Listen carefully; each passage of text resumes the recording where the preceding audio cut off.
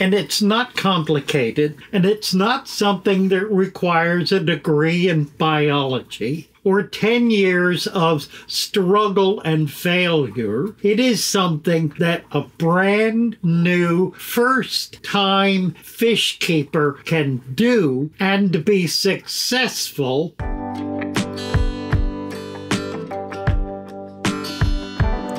Well, hello. Come right on in. You're at Father Fish. Is Father Fish. Why in the world do we need to even consider the possibility of creating something that is an attempt to replicate the world that fish actually live in? Why do we want to do that? I mean, we have all of this technology, don't we? We have chemistry. We've got an industry that is so deep that it measures the precise elements that are put into the food that we feed our fish. We have equipment that's capable of filtering down to a micron. We have substrate that provides nutrients to our plants.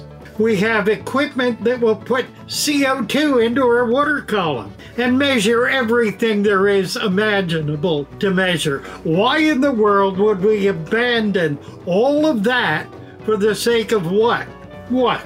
Put some mud and sand in a tank and let it go? Well, as a matter of fact. And here's the issue, friends.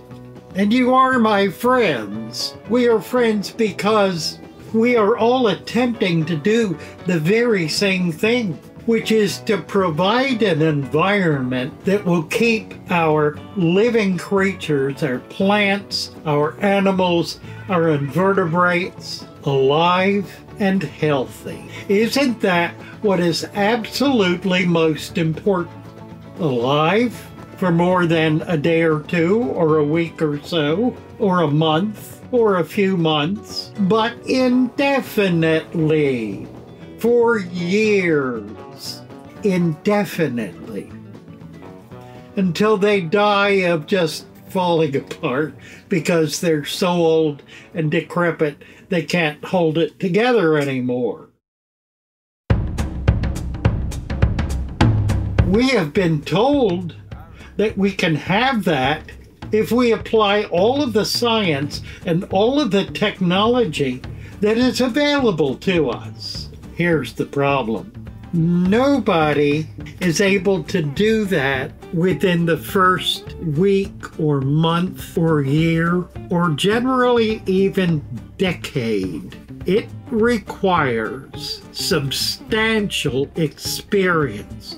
It requires failing again and again and again in order to finally begin to piece together what we need to do to use all of this technology in a way that will actually keep our animals alive.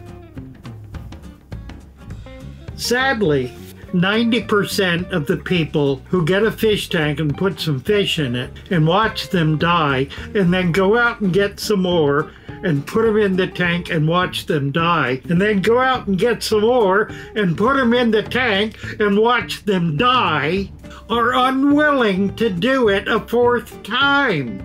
And they put their tank on the curb to get rid of it. Bottom line 90%. That's by actual count 90%.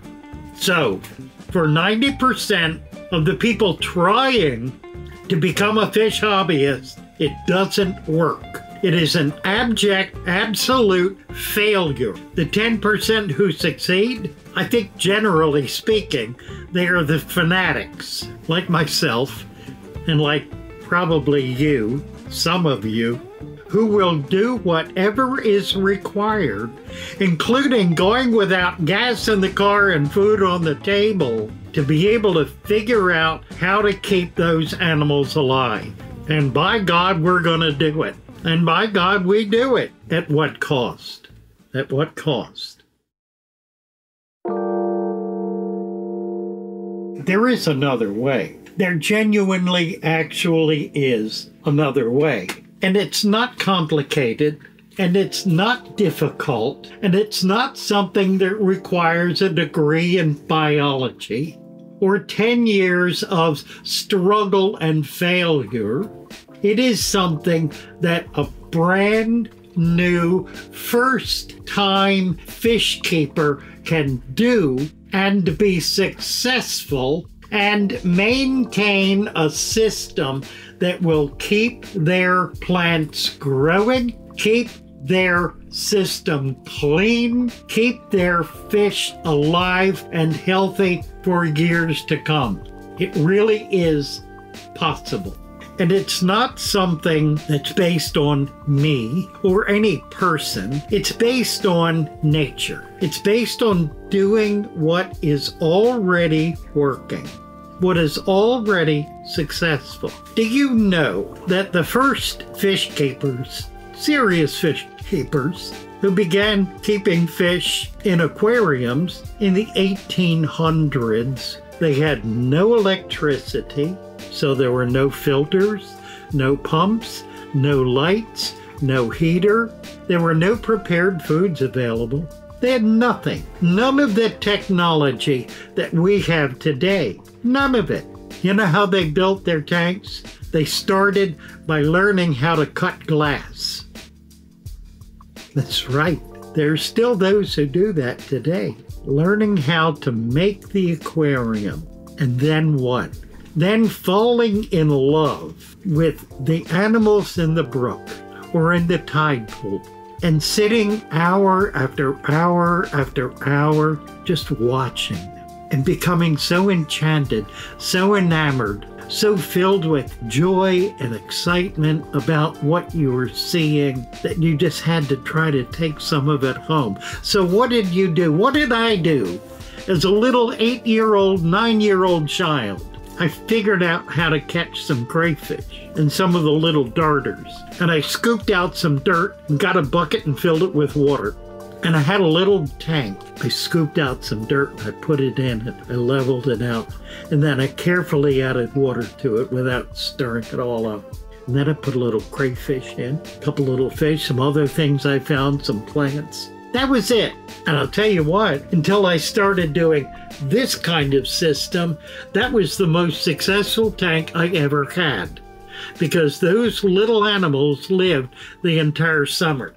Now, isn't that what you are looking for? A way to be able to do something that is very simple, very straightforward, very natural, that's not complicated, that's going to keep your fish alive and healthy and happy. If fish are happy, my fish are happy. By the way, I just want to mention a little fact here. See this tank?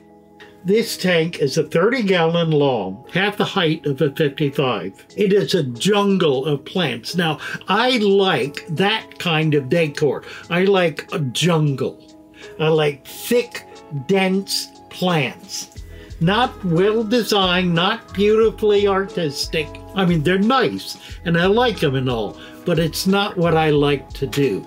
I like to do this. And I'm adding plants to it all the time, adding new plants in. This tank has been set up for 22 years. The only major water changes it's had was when I moved it, and I carried half of the water with me. I've never done a major water change. Occasionally I'll do 10%, maybe once a year or so. I do top it off regularly with the same water I put in it. Now, here's what I wanted to tell you. How many fish are in this tank? There are now, as of today, more than 100 fish in this tank. You won't see them all at once. You'll see 10, 15, maybe 20. 100 fish in this tank. They live in every strata in the tank. There are some fish you absolutely never see. They're down in the plants. They're feeding along the bottom, the little formosa, that are just the tiniest little live bearer, less than half an inch long. The males are so tiny. There are shrimp in here. There are probably 25 shrimp. By this time, there may be many more. I almost never see a shrimp, but I know they're in there. If I go through with a net, just kind of scoop scooping through, I'll get a net full. That's the kind of tank I like to have. That's what this is, and that's what I'm offering you a chance to do something that will fulfill your vision of what you want to really create as an aquarium. Now, if you're into artistry, that's fine. We have a woman working with us over on our Father Fish Shoal. Tisha is her name. She is a brilliant artist, an aquascaper who uses very technical techniques to be able to achieve a perfect artistic, aesthetically pleasing aquarium. This ain't pretty. It ain't trying to be pretty. It's trying to be a jungle jungles aren't pretty. So I welcome you to join with us and learn to do what we've learned to do. It isn't complicated, it's really quite simple. And if you're willing to pay attention and willing to learn, we'll teach them to you. But if you'll do it this way, you'll get this kind of success and so much more all of the pictures you've been watching in this video, all of the videos you've been watching are of people who are doing precisely this doing a natural environment, and they are thrilled, as I hope you will be too. Join us. Take the leap into the unknown. Turn your back on the big box store and all their stuff. Take a walk out into nature, into the real world, and learn how to bring it into your home and install it in your tank. Thank you for watching. It is my pleasure, my love, and I will see you later. Bye for now.